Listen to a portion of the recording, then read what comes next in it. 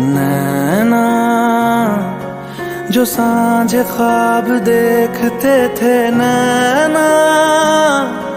बिछड़ के आज रो दिए